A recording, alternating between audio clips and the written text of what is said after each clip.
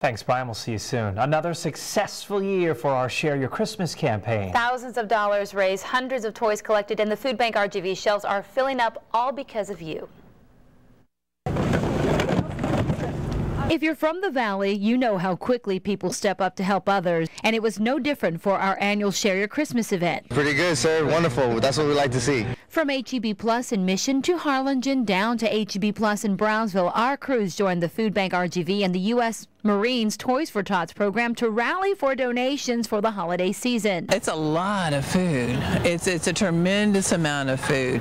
We normally see 10 to 15 percent increase, not 40 percent. So it's just astounding that this many more people are looking for help. And within a few minutes of starting the Share Your Christmas event, non perishable food items and unwrapped toys began pouring in to all of the locations.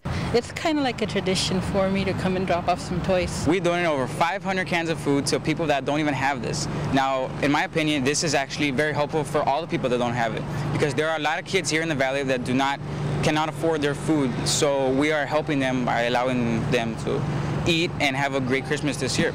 Schools came out in a big way as they do every year, and local organizations like the Harlingen National Bronco Baseball and Softball League brought in monetary donations for the cause. Toys will be distributed on the 23rd, just in time for Christmas, and the food will feed families in the Valley this month and in the months to come. So thank you, Valley, and thanks to our sponsors, the Navy Army Community Credit Union, HEB, and Pena Eye Institute.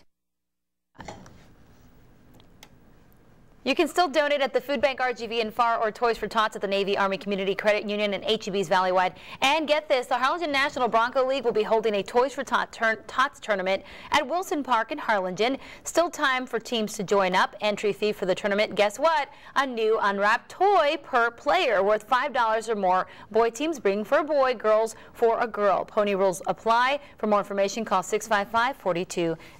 What a